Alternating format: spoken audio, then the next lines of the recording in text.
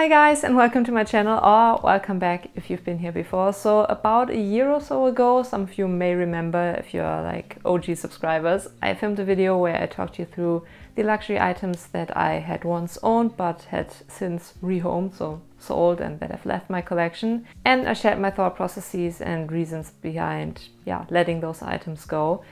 Since then, there have been a couple of changes to my collection, not only new additions, which I already talked about in one of my previous videos, where I showed you all the items I bought since September 2020, but today's video is going to focus on basically an update to my last video on luxury items I sold and why. Yeah, just to give you an update. And yeah, hopefully this video is helpful in case you're currently contemplating getting a specific item that I'm about to talk about. Maybe I'm gonna mention a few like drawbacks and cons that you might have not been aware of before. So hopefully this video can help you in your decision making process. Yeah, I guess let's get started. But before we do, hi, my name is Lesley in case you're new here. Thank you so much for clicking on this video. On my channel I talk about luxury, both fashion and obviously handbags, which is my guilty pleasure, I guess. Mm. Hauls in case I happen to buy something, shopping vlogs, reviews, what's in my bag, all that good stuff. So yeah, if that sounds intriguing to you, I would love it if you consider subscribing and also thumb up this video. I know everyone asks you to do that and I mean, we are like what one or two minutes into the video you don't even know if you like it yet but just as a quick reminder if you enjoy my video later down the line while you're watching, please give it a thumbs up. That would help me out tremendously. But now let's get started. I'm going to start with SLGs, then we'll talk about handbags and then, yeah, miscellaneous stuff at the end of the video. So let's go.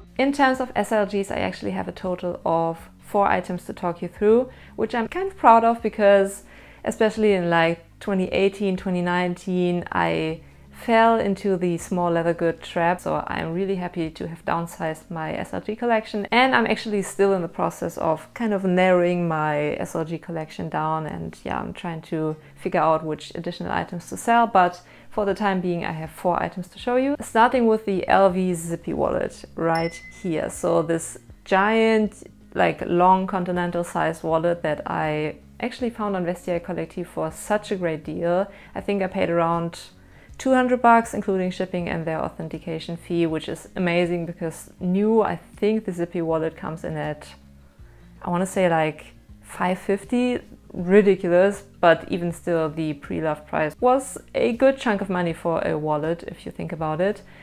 Now if you had asked me like two to three years ago um, what my ideal wallet would look like the Zippy wallet would have definitely been it. Just super long thousands of card slots and additional compartments, slip compartments, zipper compartments, you name it. You could even fit your phone unless you have a very bulky phone case. Yeah. Fast forward to now or like a year or so ago, my current wallet situation is vastly different. Actually, I carry my LV monogram reverse card holder that holds like my most important cards, so debit card, credit card, um, my ID, that's about it. And in addition to that, I have my LV Clé in the monogram canvas where I keep a little bit of cash, but not a lot, and some additional cards. But yeah, there's definitely no need anymore, for me at least, for such a huge wallet, especially given that I hardly carry cash anymore and most of my like reward cards and yeah, membership cards are actually digitalized on an app on my iPhone. So yeah, there was just no need to keep such a huge wallet because I don't foresee me going back to carrying such a ginormous wallet anytime soon. Plus it took up quite a bit of space in most of my handbags. So yeah, that's basically the reason why I let the Zippy wallet go and given that I scored such a good deal on Vestiaire Collective when I had bought it, I actually think I made about 50 bucks selling it, so that was great too. The next two items I decided to let go of are actually basically the same thing, just in two different colors, and I'm talking about my Hermes Bastia coin purses. Again, photos or videos will be on the screen, and it did take me quite a while to recognize and yeah, be honest with myself and realize that those coin purses, as cute as they might be and as beautiful as the colors are, I just didn't have a use for them. I didn't want to use them as coin purses per se, again, because I hardly carry cash and I'd rather have like a zipped way of storing my coins and cash. And that would be my Louis Vuitton Clé, where I at the same time keep a couple of cards. And I guess I also bought them in the first place for the wrong reasons because I like the colors. And frankly, I thought they would look so cute on like Instagram flat lays, which they do, don't get me wrong. I love the pops of colors. They are at an entry level price tag for Hermes, which I think for a lot of people plays into the decision to buy them because, yeah, they are cheap, big quotation marks there for Hermes standards. But when you think about it, even 170 euros sitting in your closet and not being used is kind of a waste of money. So at the end of the day, I knew that letting them go and rehoming them was the right decision. But again, and that obviously applies to all the items I'm talking about in this video, just because they didn't work out for me doesn't mean that they are a bad purchase or that I would advise you from staying away from them or selling yours if you happen to own the same thing. Obviously, it's all personal preference and yeah, just thought I'd share my experience and my opinion. And the last SLG that I decided to part ways with is actually the Louis Vuitton Toiletry Pouch 26 in the monogram canvas. Now I know that item is super popular, always sold out or almost always sold out. And ever since I bought it, I think in like mid 2018, the price had gone up tremendously, which was great for me because I actually made 50 bucks roundabout while still being below the current price tag when you were to buy it in the boutique. So I was happy, the buyer was happy, and I was happy that I had come to the conclusion that I didn't really need a Toiletry 26. Obviously, you don't need any luxury items, we all know that, but you get where I'm coming from. I just think the reasons why I decided to purchase the Toiletry 26 to begin with were kind of off because one of the main contributors into me deciding to purchase it was that I knew that it was a hot item that a lot of people wanted and yeah, that had always been sold out on the website and in store. One like Sunday morning, I scrolled through the Louis Vuitton website and I saw that the Toiletry 26 was available, and I was like, okay, whatever, just buy it and think about it later.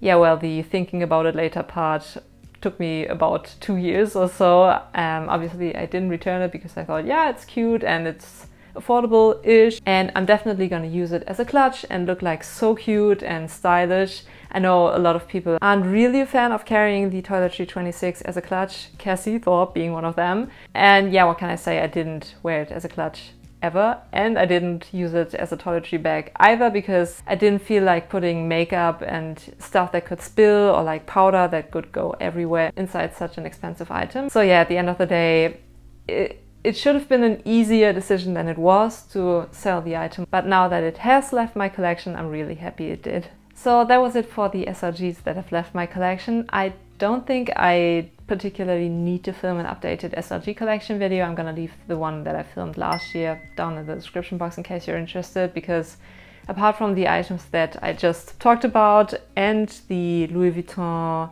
monogram reverse card holder. There haven't been any changes, but feel free to let me know if you want me to film an updated video regardless.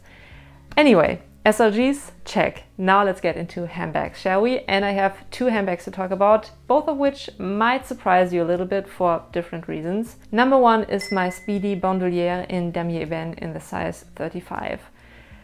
That was actually my second ever expensive or like luxury handbag. The first one having been my Neverfull, which I bought in 2014 if I'm not mistaken, and the Speedy was purchased a year later, so like August 2015. And it's not that I didn't wear the Speedy that much, but at the end of the day, I didn't wear it enough for me to warrant keeping the bag.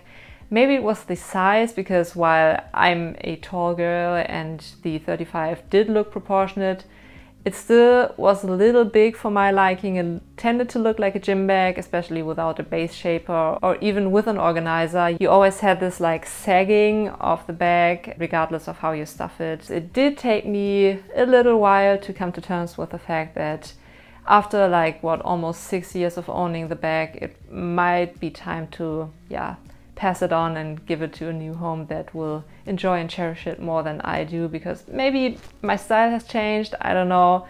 Apart from the yeah reasons I mentioned earlier, maybe I'm not that much of a fan of the Louis Vuitton Damier Ebene anymore, which is crazy considering that back when I bought my Neverfull and my Speedy, I was like, okay, if I buy Louis Vuitton, it's only gonna be Damier Ebene and the LV monogram canvas looks so tacky. And at this point, I mean, the LV monogram can look a little in your face, but for example, my Pochette Métis obviously is in monogram canvas and I love that bag to pieces. So yeah, it's just interesting how styles and taste change. So yeah, the Speedy left my collection earlier this year and I have zero regrets. And the second bag that I have sold, and the reason why I told you you might be surprised, maybe, I don't know, maybe not, is a bag that I have never showed on my channel and I'm talking about a vintage Chanel one. Not my Chanel medallion tote. I love that back to pieces and it's not gonna leave my collection anytime soon, but I'm talking about the Chanel Kelly top handle. Again, photos will be on the screen.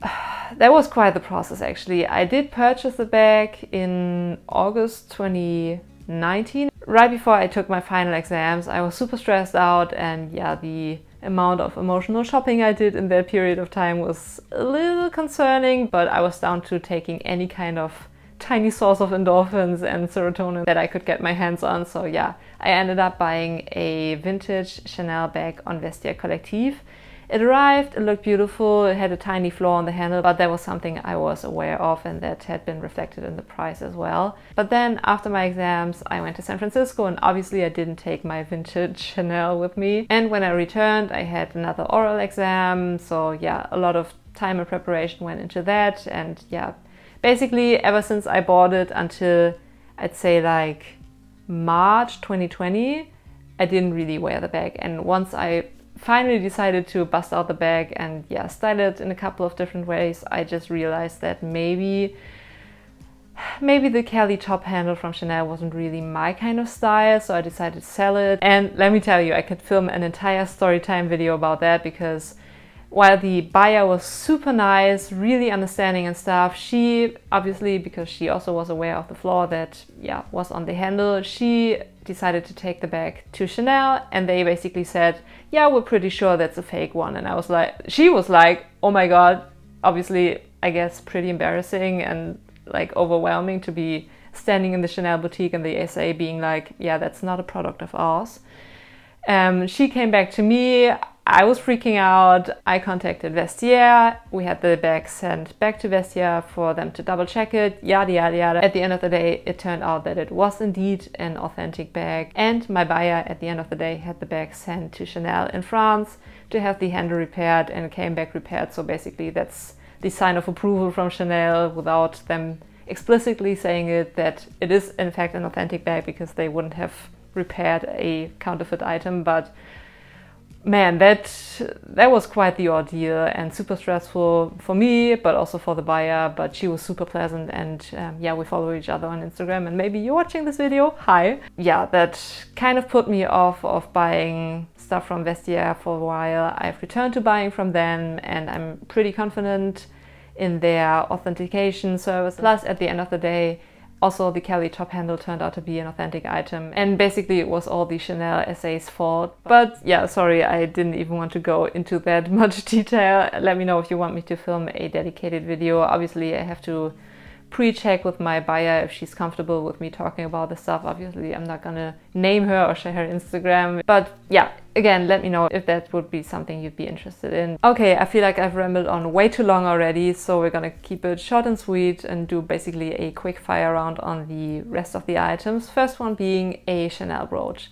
This one right here, so like this super cute and tiny round brooch at the end of the day, it was beautiful. It was kind of an Instagram made me buy it purchase, but I didn't really wear it because A, I'm not that much of a brooch person. Plus, with this white one, I was super terrified that I would get the surface, so this like white material, don't even know what exactly the material was, but it was kind of a rough texture, so I figured if I touched the brooch with like makeupy hands or stuff, that would stain the brooch beyond repair basically. I did take quite a hit because apparently everyone else that looked at the brooch was a little smarter than me in terms of thinking, okay, that's not the most practical brooch, plus it was pretty small, but taking a loss was still better than having I think like 360 euros is what I paid for it and I got about 300 so yeah still better than having that amount of money tied into a brooch that I'm not wearing sitting in my closet. So I let the brooch go and I'm super happy about that. The next item I decided to finally let go of is my Dior Oblique Mitzah. So yeah, Mitzah is basically the Dior version of the Hermes Twillies or the Louis Vuitton bandeaus. It did take me quite a while to come to terms with the fact that buying the Dior Mitzah in the first place wasn't really a smart idea because I purchased it in San Francisco, so in the US.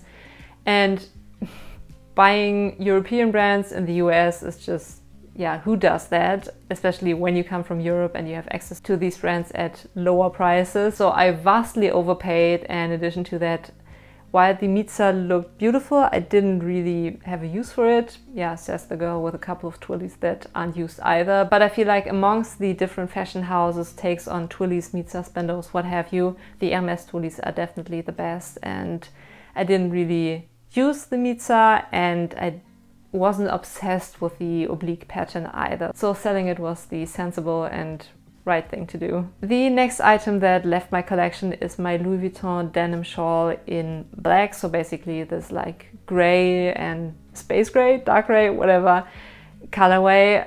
At the end of the day, I did like it, but I didn't love it.